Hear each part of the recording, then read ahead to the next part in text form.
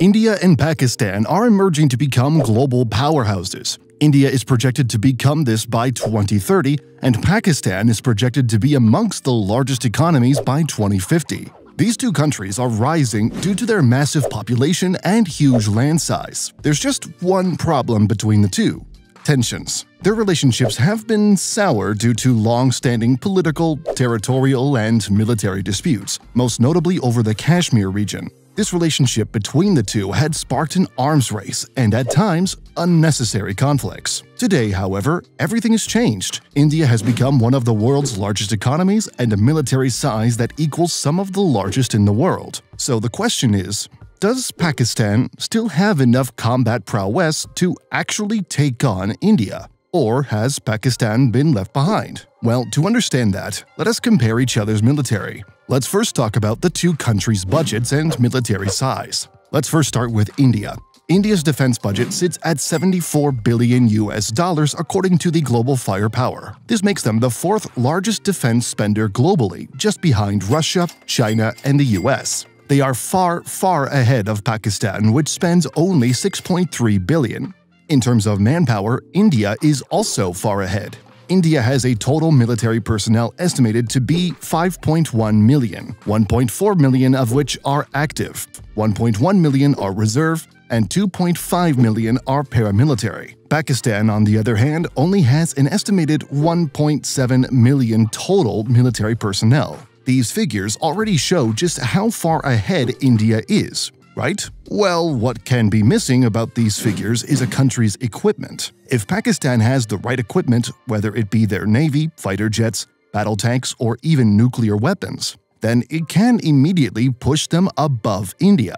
Well, let's see and compare each of them. Let's first start with the army, which is a country's ground forces. Pakistan's ground forces aren't that far off from India. Pakistan has over 3,742 tanks, compared to India, though, which has 4,614 tanks. In terms of vehicles deployed by the ground forces, India far surpasses Pakistan. India deploys more than 150,000 vehicles. These can be normal vehicles but also armored ones. Pakistan only deploys roughly 50,000 vehicles. In terms of artillery, Pakistan has over 752 self-propelled artillery, 3,258 towed artillery, and 602 rocket artillery. India has only 140 self-propelled artillery, 3,243 towed artillery, and 702 rocket artillery. This shows that Pakistan has sufficiently been investing in its artillery systems. But this also does not equate to military strength. What we need to know is how advanced their tanks,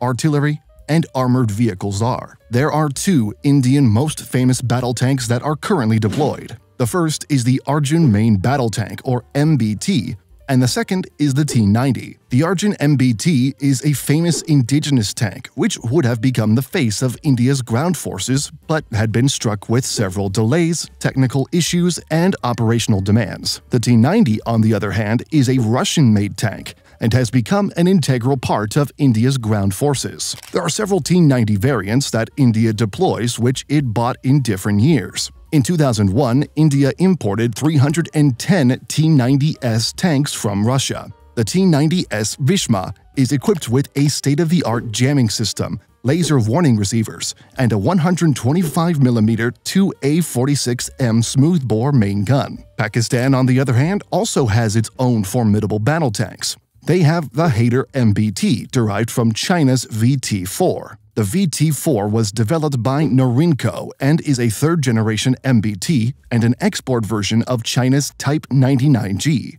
The Haider MBT has a conventional design with a 125mm smooth-bore gun capable of firing various types of ammunition, along with a 7.62mm coaxial machine gun and a 12.7mm heavy machine gun. Its advanced armor includes composite, reactive, and spaced systems, with explosive reactive armor on the front hull. Beyond tanks, let's also talk about their artillery. One of India's artillery is the Pinaka MBRL. It is a state-of-the-art multi-barrel rocket launcher developed by India's Defense Research and Development Organization. It is an artillery mounted on an 8x8 vehicle.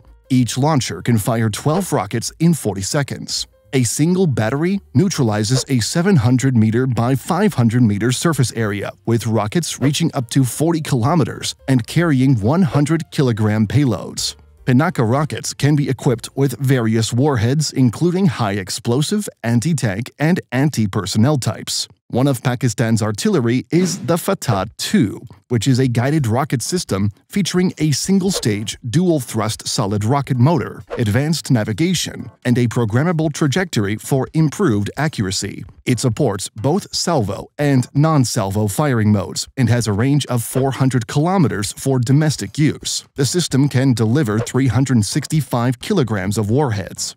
Let's now move on to each other's air forces. According to Global Firepower, India has over 2,296 aircrafts in total, of which 606 are fighters, 130 are attack types, 264 are for transport, 351 are trainers, 74 special missions, 6 tanker fleets, 869 helicopters, and 40 attack helicopters. Pakistan, on the other hand, only has 1,434 aircrafts. 387 of these are fighters, 90 are used for attack types, 60 for transport, 549 are used for trainers, 25 for special missions, 4 for tanker fleet, 352 as helicopters, and 57 for attack helicopters. The most important of a country's air force, however, is their fighter jets. India's fighter jets are composed of equipment from France, such as the Dassault Rafale and Dassault Mirage 2000. They also use some from Russia, such as the Sukhoi Su-30 MKI, and several more are out there. The most famous and essential one for the future, however, is the HAL Tejas. These are domestically produced. The Tejas LCA was developed to replace India's aging MiG-21 fighters, featuring a tailless delta wing design and a price tag of $25 million per unit. It has a top speed of Mach 1.6 to 1.8. The Tejas also has different variants, the Mark 1A variant and the Mark II, which will have stronger F414 engines and greater weapons capacity. Pakistan's Air Force, on the other hand, is composed of Chinese equipment. They have the J-10C Vigorous Dragon, JF-17 Thunder, and even older US aircrafts such as the F-16 Fighting Falcon.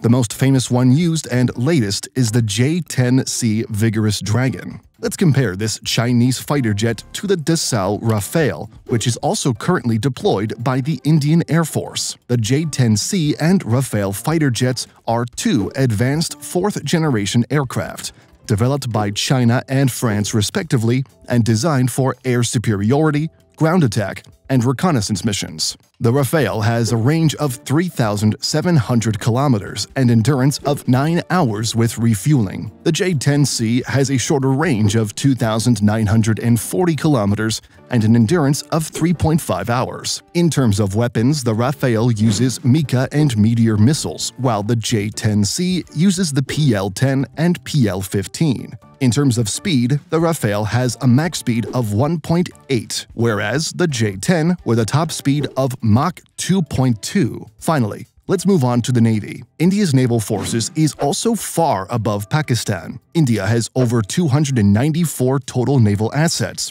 two of which are aircraft carriers, 12 destroyers, 12 frigates, 18 corvettes, 18 submarines, and 137 patrol vessels. Pakistan, however, only has 114 naval assets, 8 aircraft carriers, 2 destroyers, 9 frigates, 7 corvettes, 8 submarines, 69 patrol vessels, and 3 mine warfare. This already showcases how far above India is, especially as India has its own aircraft carriers. But let's compare their submarines. India's submarines are also amongst the world's deadliest. They have the Arihant class, which is India's first nuclear-powered submarine. It was developed indigenously at a cost of $2.9 billion.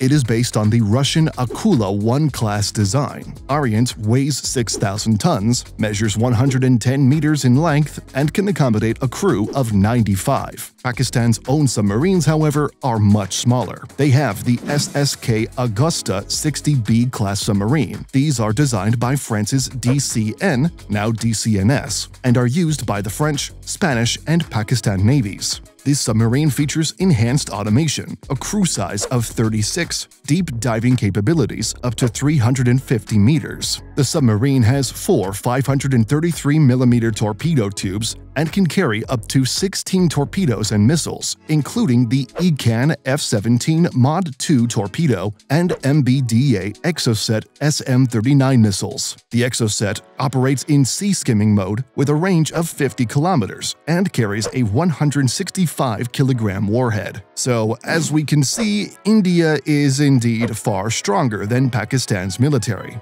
But Pakistan is keeping up despite being a smaller country and economy. But anyway, do let us know what you think. Thanks for watching.